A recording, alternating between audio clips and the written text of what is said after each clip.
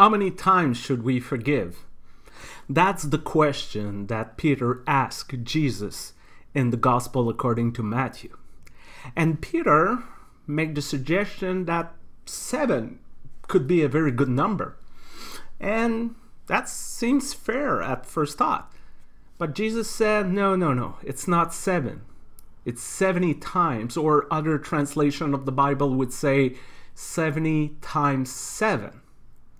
And I remember when we heard the story, when we when I heard the story when we were young, and heard 70 times 7, we turned immediately to uh, Yannick Laramé, who was the math whiz in her class, and he told us 490 so for a few days we were in this at school said okay that's one. You're at three now. So and we thought we were so smart of course this text like many others in the gospel are not meant to be literal we're not called to count uh, how many times we forgive someone until we reach a certain number it's we not called to play the number game uh, forgiveness. This is not about forgiveness is not about that.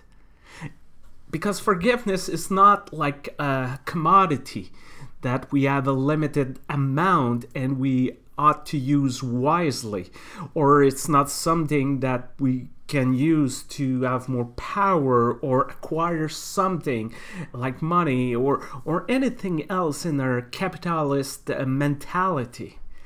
And forgiveness is also not about um, you helped me, so I'm in debt to you, so I ought to help you in the future, or uh, if you scratch my back, I will scratch yours. Forgiveness is not this at all. What we discover through Jesus' words is forgiveness is a lifestyle. It's a way of being a Christian.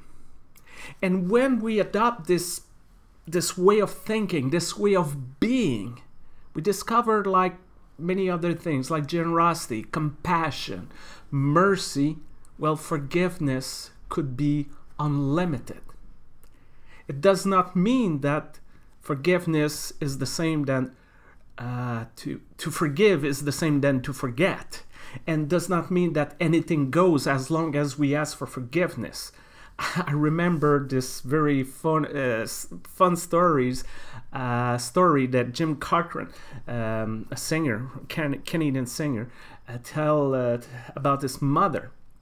She was a good Roman Catholic, and there was this uh, jazz band coming from New York in town, and the priest said going there was a sin, so she decided to go anyway.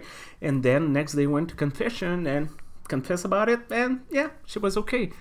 That's not the point here. Uh, forgiveness is a call to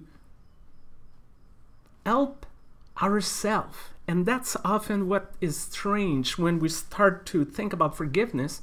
We think it's something we do for someone else. No, we, we it's something we do for ourselves. So many times we have this grudge or urge inside ourselves, this violence inside ourselves, and all of this poison only our own existence, our own soul. So, forgiveness, when I forgive someone else, help me to free myself from all this past that I'm carrying inside of me and open possibility for the future. Forgiveness is to consider how we are forgiven also by God. That's the Lord's Prayer says, Forgive us as we are forgiven. And to realize that God's forgiveness is unconditional, unlimited, unbounded, it challenges us to try to strive in that direction. So, for that reason, we cannot say that forgiveness is about control, rules, parameters, but about a radical love that makes no sense in our world. And this is why it's so challenging for many of us. And it's and that's the core issue here. Forgiveness is not a number, it's not rules and regulation, it's the way we live our faith, the way we relate with our God, and the way we relate with one another. That's all for today. I hope that you're enjoying this time of the year.